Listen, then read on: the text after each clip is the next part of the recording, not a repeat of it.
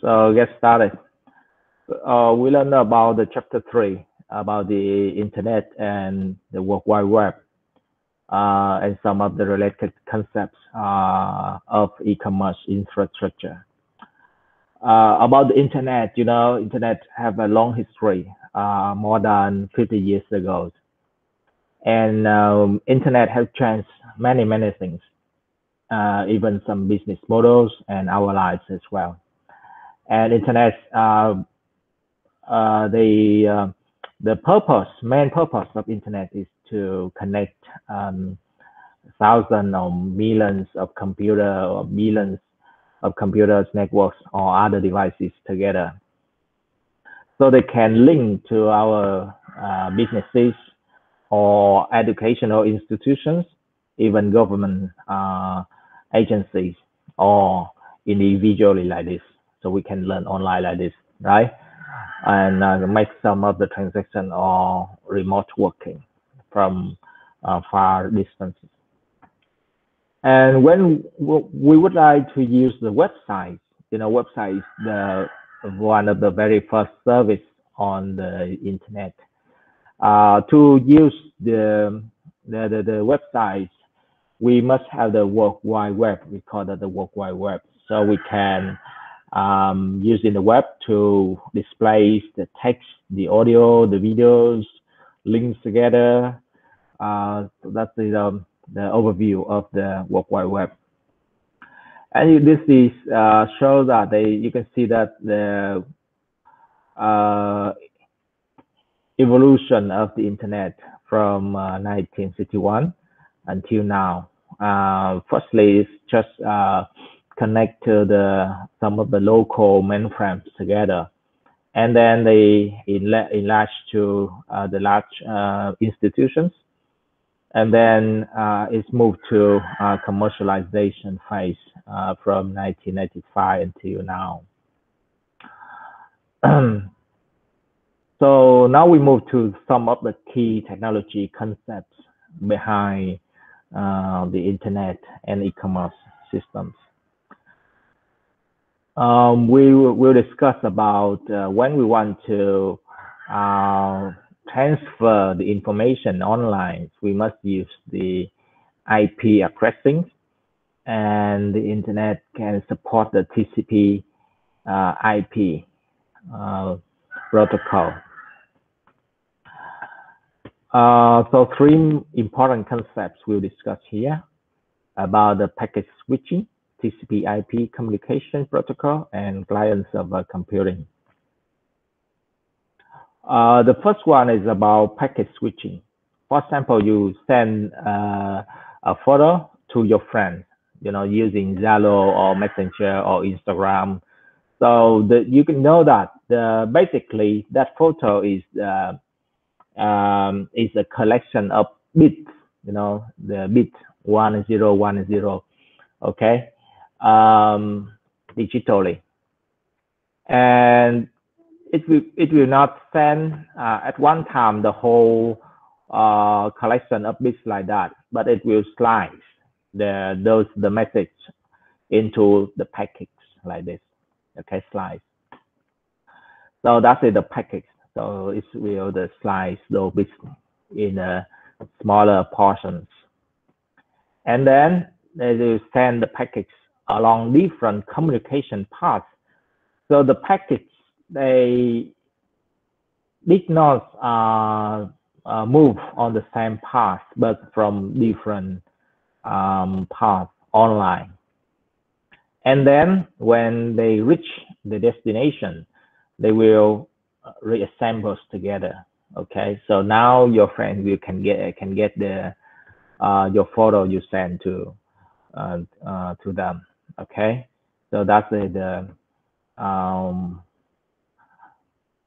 the the operation behind um, behind our uh, activities. Okay, so sometimes they use in the the routers. Okay, uh, so in the routers they have the routing uh, algorithms to ensure the packets will uh, select the best available path to the destination. This is a sample of packet switching. For example, you send a text message like this originally, right? But this is for the human to read. For the computer, it will observe like this. It will digitalize into the bits like this, right? Basically, your photos or your text are the bits like this. And then they will slice the message into uh, the smaller portions and it become package like this. And then in the package, how can they uh, they know the destination and they can reassemble the message. At this at this time, they will use the header information. Okay, header information. What is it? In the package, they have the header to add the uh, to add additional portion to indicate the destination. Okay, so we can know that how many bits are in the total message and how many packets do we have. Next one, we will discuss about the TCP IP. Uh, it stands for the uh, Transmission Control Protocol. Okay, so it establishes the connection between sending and receiving the web computers. Uh, so it will handle the packets. Just it's just a rule, you know, the rule to uh, establish the connection. And we have the Internet Protocol provide the addressing scheme. Uh, you know that behind the website, uh, we have the, the IP address, okay? For example, we have like the, uh, let's say uh, one website, right? Uh, we have abc.com, all right? abc.com. Okay, World Wide Web something. All right, so this is the, we call that the domain name, okay? And behind that, we have the IP address, okay? We have the IP, IP address behind the system. IP address is like the, the, the address of your website, uh, your home, right? So your home have the address, the website also have the address like this. For example, uh, maybe it will be like this. Okay. Something like this. So we call the IP address. And we have the IPv4 which contain the 32 bit number like this. We call the IP address. And uh, in the future, maybe we're using the IPv6. It's a, a longer address like this. Okay. So why we have the we have the website. The name of the website is for the human, easier to read. So the question is, can we type this IP address to access the website? The answer is yes. Okay, so we send from the sender and we routing TCP IP, break the data into packets, and then we will send them um, in many parts, and finally there is reassemble the package to the whole. Yes, the message. Okay, next one I would like to discuss about the domain name. The domain name is quite simple. It's just the name for in the natural language for human to read, right? Like Alibaba, Tiki, something, everything, right? So we have it's for human, so it will be in like alphabet or numbers, right? To to put the domain name. And what is the domain name system?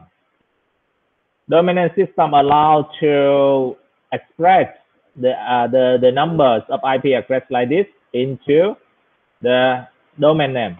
So we have the DNS over here, dom domain name system to do this. Okay, it's a transform from IP address into the alphabet.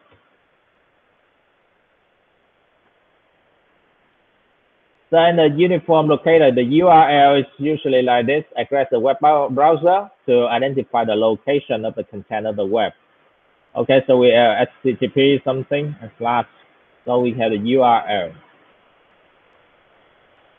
And the client and server computing. We have the client here and server. So what exactly? Okay, let's continue. Uh, we talk about the, the, the client and server computing. This is uh, um, the network models were proposed in uh, 1990s. Uh, I, uh, 19, and now we can we still use that. You know, we have the clients clients here, for example.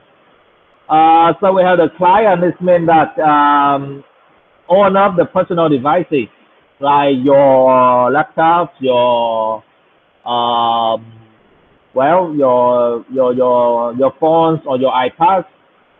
So those are the clients. Okay, and we are the user. Okay, we are the user here. We are the user. And the user, for example, you press, uh, I want to open the uh, Facebook on your phone, right? It means that's a client. And what happened then? The client will send a request to the server. Okay, so this is the server. And they will send the, the request. Send the request here.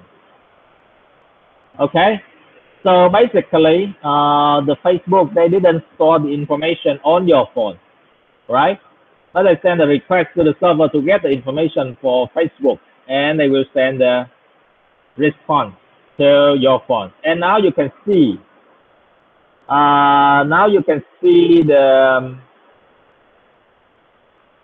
now you can see the, the information on Facebook over here. So that is the, the, the concept of client and server, and it's all around us, right? So sometimes we can store the files. Uh, so on your website, you have the, the portion uh, to store the data. Okay, you put the data here on your server, and then we get the data to, your phone. And uh, now uh, the emerging of the mobile platform here, uh, we have the netbooks. Smartphones is quite uh, cheaper, and some of the disruptive technologies such as the processors here, you know, the, the power of the chips. Getting uh, getting uh, more powerful. And we have the cloud computing, uh, such as the Google Apps, uh, Microsoft Office 365, and many other services. And this is the trend of the future. We move into the cloud. And uh, ISP is just the internet service provider, such as FPT, Viettel. Uh, I think you know this, right? And uh, maybe in the near future, they will provide by satellite, uh, like the uh, the project from Elon Musk. He uh, launched many satellites to broadcast the internet to all over the world, right? and we discussed about the intranet and extranet. It's just the internal network. Intranet is the internal network for one organization. And just the employees can access to this network to get the data. And sometimes we open to the, the clients or the suppliers uh, to access the internal network so they can uh, so the, at, at this time it's uh, expanded the intranet so we call that the extranet the question is uh, who uh, govern the internet. Those those are the information that influence the internet monitor and its operation. Uh, so you can see here like ICANN and many other uh, um, W3C, etc. So they will observe and govern the internet. Okay, so this is the review questions you should answer uh, in the videos. Uh, the first one, you should name and describe the five services uh, currently available through the web. And the next question is why are the mobile apps uh, the next uh, big thing? Okay.